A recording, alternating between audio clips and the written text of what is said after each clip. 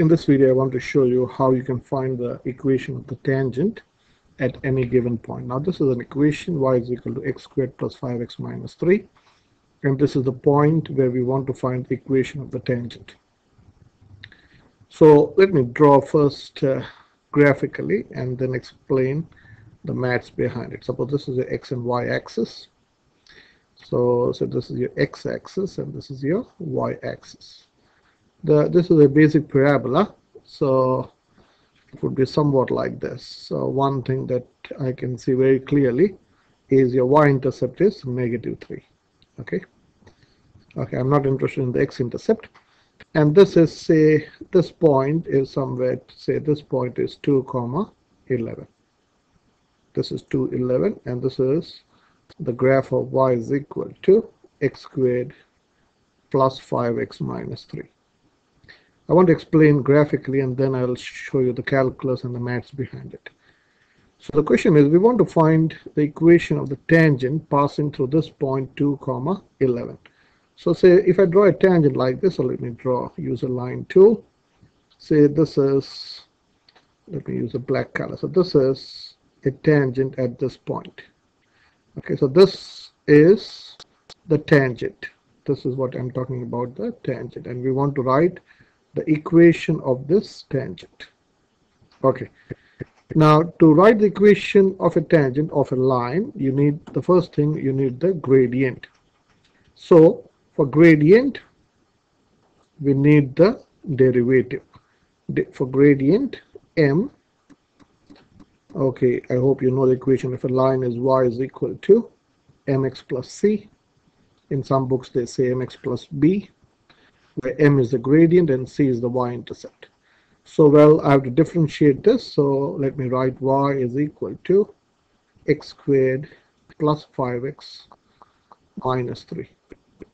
So differentiating with respect to x, so I say dy by dx is equal to drop the power down, so that is 2x, and decrease the power by 1 plus 5. So the derivative function is 2x plus 3. So I want to find what's the gradient dy by dx. What's the gradient of the tangent at x is equal to 2. So where did I get the 2 from? This is the point. This is your x value and this is your y value. Okay. So we know the derivative function is in terms of x. So in place of x I can put 2. So this is 2 times 2 plus 5. Okay. So which is 4 plus, first we have to multiply 4 plus 5, which is 9. So in other words, we can say that the derivative dy by dx at x is equal to 2 is equal to 9. So let us, I'll show you how you can do, use a graphic calculator to check your answer. It's always good to check your answer if you have the tool to do it. For that, let me show you. Uh, first, let me type in x squared. The equation is x squared plus 5x, uh, 5x uh, minus 3. So I have set the scale from minus 10 to 10 and draw it. Okay, so G solve just to show you the point when x is 2, y is 11. It's somewhere here.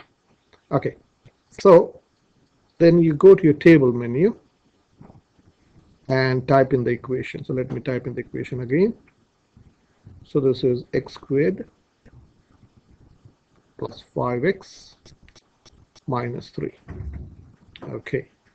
And then one thing that you need to do before you uh, go to table, your derivative has to be on. Okay. And then go to your table. So at 2, so look at this point. When x is 2, y is 11, the gradient is 9 can you see? Dy by dx is 9 can you see this? Dy by dx is 9 so when this is your x this is your y and this is your dy by dx. So we can uh, have a smiley face here that we have got the derivative the gradient right. Okay. So now equation of line is y is equal to mx plus c mx plus c. This implies your m at that point is 9. your gradient of the line of the tangent at that point is 9. So well I can say y is equal to 9x plus c. Now I need to figure out c for which I need a point and I already have the point when x when y is 11 x is equal to 2. So I've written in terms of y and x because I got y first. So I can put 11 is equal to 9 times 2 plus c. Okay, so this gives you 11 is equal to 18 plus c. So taking away 18 from both sides, 11 take away 18 is c, which implies your y-intercept is negative 7. And it does make sense. Okay, if you draw, if you think about this line, it has to have a negative gradient. And so the answer does make sense. So therefore, you can say the equation of the tangent, equation of tangent